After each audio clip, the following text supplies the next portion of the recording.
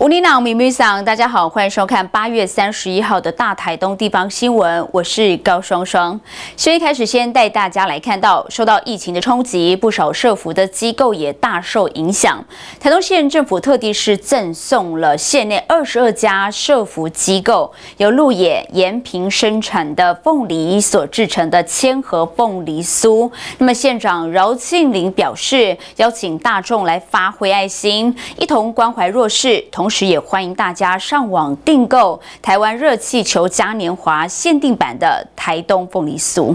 来，我们请一起看向正前方，正前方。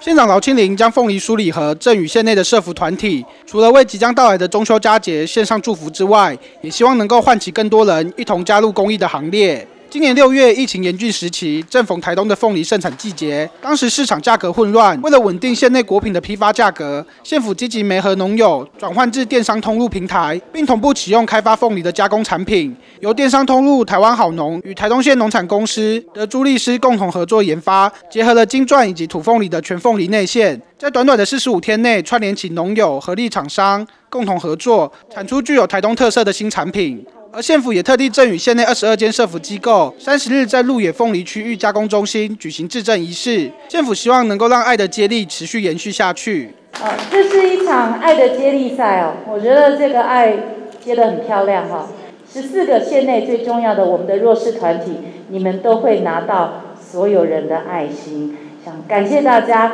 我们继续把这份爱传下去，好，能够让拿到这个吃到这个凤梨酥的人，让大家都知道。是这么多人的爱心汇集成这一盒凤梨酥，剩下的一千盒，我想也一下就会卖掉了。哦，那所以再次的感谢所有爱的接力赛当中每一棒，呃，爱台东的所有的人，我们吃到这个凤梨酥，心中都会有满满的爱。透过县府、厂商、农友的通力合作，让台东的凤梨能够以加工的方式变得更加有竞争力，同时也号召更多人一同关注弱势，让即将到来的中秋佳节变得更加温馨。记者陈继林、路野乡报道。